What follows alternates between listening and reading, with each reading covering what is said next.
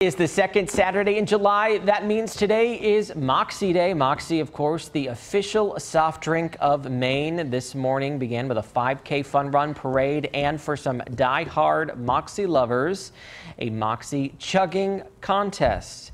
Year after year, the Lisbon area drawing in Moxie enthusiasts of all ages. Organizers say the Moxie Festival is homecoming of sorts this is what people look forward to. Um, people come home.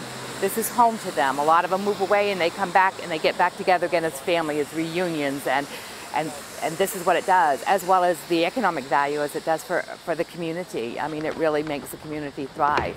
It's good stuff too. Moxie Festival continues tomorrow with the Moxie Car Show. They think of everything at that festival.